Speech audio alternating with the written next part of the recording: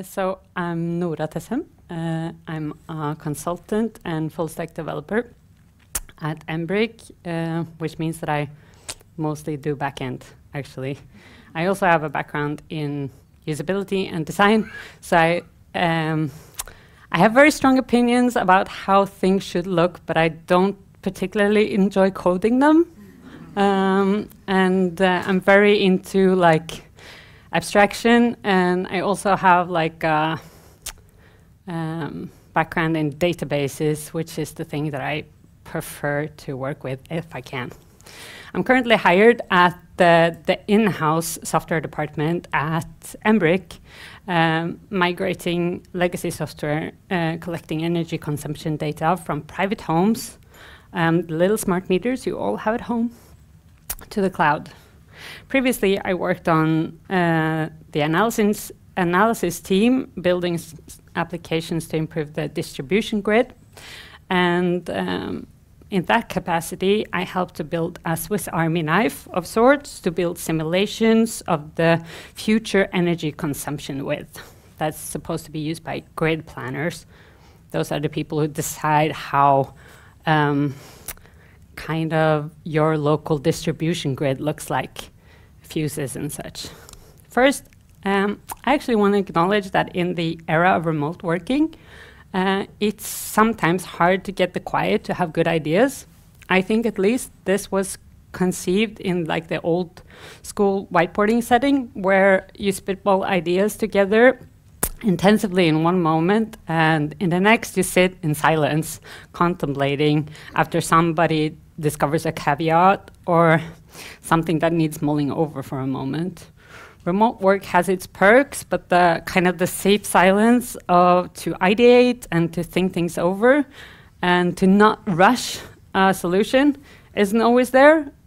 I collaborated with Sindre Mehus, which is a consultant at Sienta, on the following design, and I think we had a great time coming up with it. Maybe too much of a great time. Anyhow, um, calendars, what are they? Uh, everybody knows what a calendar is. It's kind of something you take for granted, right? It's to sort of track the passing of time. Uh, in the West, we have had several official calendars through the years. Uh, the Georgian calendar we have today superseded the Julian ca calendar, and many other civilizations have their own calendars again. In science and in sensor data, like I work with, we often use timestamp or epoch or Unix time, um, which is the continuous passing of every non-leap second since January 1st of 1970. We didn't really have a lot of computers before 1970s. We had some, but the bulk of them are after 1970s. Um, calendars are not just to keep track of time, it's also an observation of what happens in our environment. And uh, here we have the concept of the perpetual calendar, which uh, you sometimes has the name of the lunisolar calendar or the tropical year. And also Primstav, the runic almanac, which some of you may know about that we used to have in earlier Norway, it's a perpetual calendar as well. It's fixed. It kind of describes what happens through the seasons, and it has some holidays that are always on the same date. Tropical year, or the solar year, is what we experience on Earth. It's the seasons, it's the ellipses that uh, Earth takes around the sun.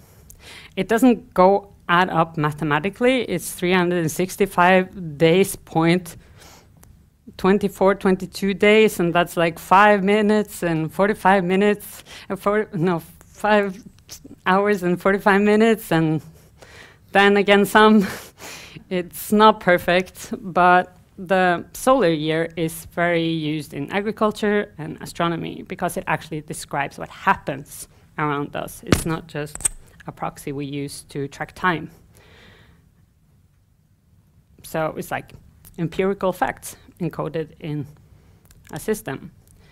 Um, our calendar today, the Gregorian one, doesn't add up to whole days, and it's inconvenient to build time systems around. It has um, it has a solution for the fact that there's a remainder of a day, and that's called leap year. It's, uh, it was created um, in the Julian calendar and it was revised in the Georgian calendar and it still isn't perfect and it's still causing a lot of bugs actually. Um, getting back to the energy consum consumption. Um, grid planners um, uh, have to know what's going to happen with our energy consumption in order to sort of know where they're going to build out the uh, distribution grid. And so they had this idea that we just take what happened past and we just um, make it so that it happens in the future, and then they could test their hypothesis on it. And that was kind of the uh, product that we were going to create. And because of that, we had to make a very simple solution where we just take the past energy expenditure and we just extrapolate it into the future. And we do nothing with it. So they actually have a very uh, neutral ground. Of course, uh, the past is not neutral. when it comes to energy, energy expenditure. Because you can have outliers such as uh, weather. You can have like a very cold year, and if you sample from that year, the next year, it doesn't actually uh, correctly represent uh, the future at all. But uh, this is something we chose to not care about uh, actually in this phase of the project. We just wanted to something that you could build on later, and then you can maybe implement some um, adjustment and weighting according to like if what the sample you the data you sampled was from a particularly cold year or something like this. This is just like the um, like the really prototype for uh, energy consumption. Um, people do different activities who that expends more power, uh, like cooking and washing, and also they have maybe they have an electrical car or something like this. And people are creatures of habit, so they do the same things at the same time every day. And um, some people only go to work Wednesday, uh, like Tuesday, Wednesday, Friday. So um, the day uh, a week really impacts how the the power consumption data looks like. Uh, so what we chose to focus on was the day a week and the time of year, really. And then um, you could envision a solution where you just take one year and you just plus 365 days what can go wrong?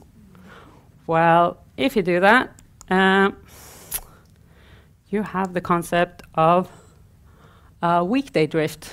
Your Sunday will become your Monday. And uh, if there is a leap year, then your Sunday will become a Tuesday after the leap day. And it's not very convenient. It doesn't really represent the fact that you use energy differently on different days. And of course, you can get around this by subtracting one day and subtracting two days, but after a while, uh, just like counting on your fingers, it gets very complex.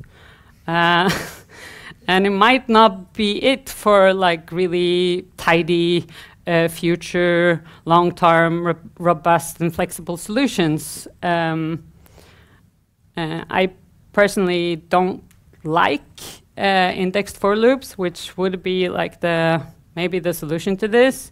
Um, I could say that I find this easier, but when developers say they think something is easy and simple, they're just actually stating their preference. This is my preference. Uh, don't feel discouraged if you're of a different opinion. And also, there's probably some C programmers in the room that's going to think that this solution is incredibly inefficient. Um, but we build it to sort of be robust over time because um, what we were going to end up with was not very certain at the time. So we had to make sure that it was kind of easy to develop. And uh, when I say easy to develop, then maybe I'm not right because maybe it's very complex for some people. So instead, we opted for cool abstraction and math stuff. We want to avoid bugs and make the system easy to understand uh, over time. And um, I admit that maybe it's not that easy.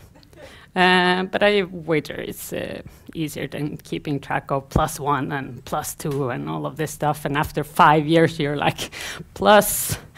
Uh, it's very hard to sort of break into a for loop like that. And you want to build that. So all of a sudden, you want to take account for, uh, like, if it's a holiday or something like that, because people they cook it all day on Christmas Eve, and that really impacts the the graph of their data. And um, so we um, kind of uh, ended up building on some kind of uh, database concepts. This is not a database talk, actually. You will see no databases here. Don't be discouraged. Um, or a cookbook, lo uh, cookbook logic. Uh, because in the back of a cookbook, you can kind of uh, look, at, look up several parameters of a recipe instead of like counting your, your pages. And uh, we had to kind of determine what it was going to be our key. Um, what time-related attributes determine energy consumption? Well, you have the time of year. We sort of uh, made that into month. And then you have the weekday and the hour. These are the objects the key, month, weekday, hour, and then the value, load, which is like the kind of how much energy uh, the customer used at that time, sample from that date, and to make sure that we can do some calculations afterwards, I'm going to show you in a minute, we had to keep track of uh, which uh, day of year that was sampled for, because that can vary and which, how many days there were in that year, because sadly, we're going to have to account for leap year. So this is the code. This is the code in a different formatting, because it didn't remove the previous slide. and, well, uh, this is how you instantiate the calendar. Uh, you sample a year of data and you put it into this constructor, and it magically makes a calendar for you. So now this was the talk. No, I'm just kidding. It's not. Um, we heavily utilized um, Eclipse collections for this project uh, and on this project uh, project as a whole. I uh, really recommend it. It's kind of based on Smalltalk, but you see that there's like some elements of it that looks a lot like SQL. The group by, for instance, I'm going to show you another group by very soon. Anyway, uh, we cast all the timestamps into its respective values in our calendar system. That is on the previous slide. And then eventually you get the future consumption. Here you send in a from timestamp into the future. Uh, so you take like maybe tomorrow, uh, the day tomorrow or the day today, and you say, I want like the previous two years of data extrapolated into the five years of the future. And then you get your result. But wait, how do we find the closest value? Um, when you have a Tuesday in April, uh, one year, that Tuesday in April may be like so much further out uh, the next year. And maybe the last Tuesday of March is actually very much closer to the day you want to extrapolate for. So we, when we calculate the value we're going to end up with in like two weeks in the simulation, for instance, we take um, the previous month, we take the current month that you're uh, uh, calculating for, and you take the future month, and you bunch that all into a list. Okay? And then, um, then again, what is the day of year for? Well, if you take three uh, three months worth of data and you shove it into a list like we did, uh, you uh, probably end up with around um, like 12 elements, maybe less.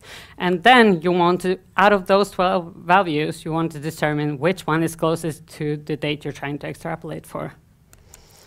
And also, you have to account for leap year.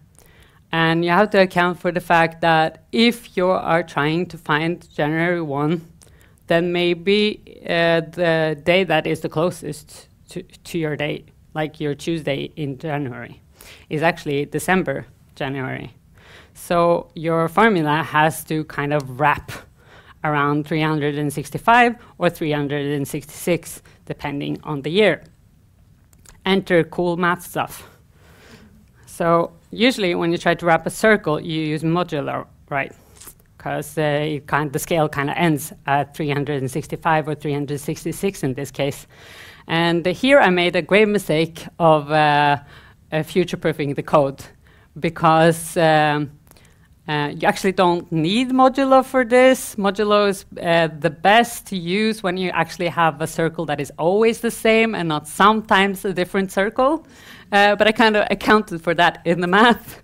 And uh, just for, for fun, I had uh, ChatGPT re rewrite uh, this formula for this presentation, and it worked for the one sample I tested before doing this presentation and it's probably a whole lot easier to understand, I think, than this.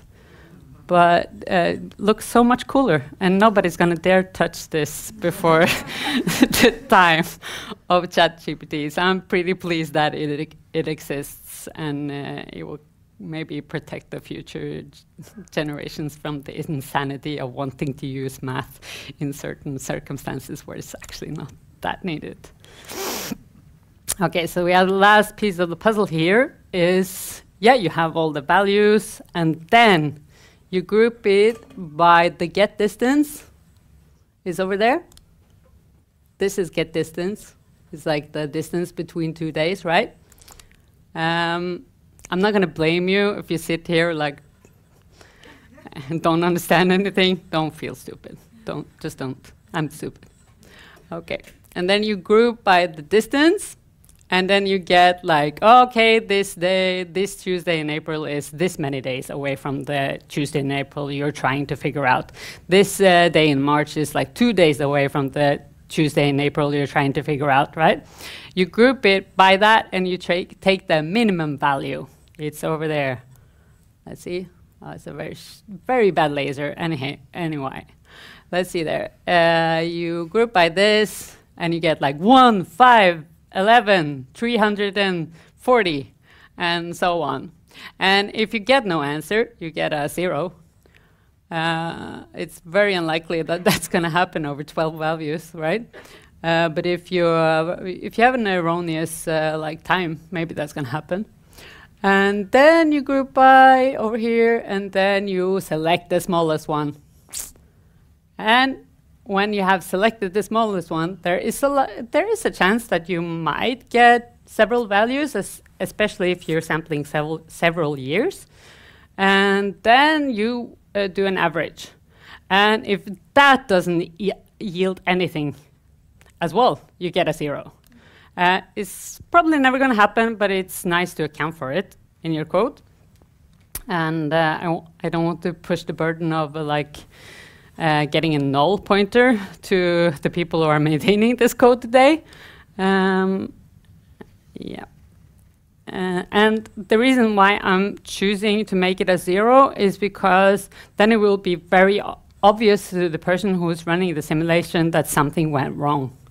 And you want uh, to at least have some kind of transparency around the things when you're making stuff like this. So what's missing? Very, very, very many things. this uh, doesn't actually account for the fact that you can have like missing timestamps, right? And then you can end up with like the Tuesday in March, even though there was like a two o'clock uh, measurement in April. Maybe that's more correct. But also, if the two o'clock one was a very was a big outlier. You would have like a two hour stretch of like really high power consumption. So you want to account for that. Also, this doesn't use like uh, statistics at all, and you're very prone to weather overfitting. For instance, uh, when you have like a, a Siberian winter year, you don't want to assume that uh, you're going to have five years of Siberian winter. I would not like to have that at least.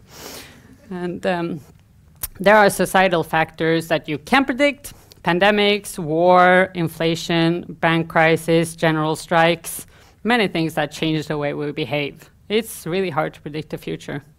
Anyhow, I hope you enjoyed this talk. Um, if you want to talk uh, to me about anything, I'm very game when it comes to that and I'm interested in a lot of stuff, but uh, I care deeply about databases like Willow here, uh, and um, that's it. Thank you.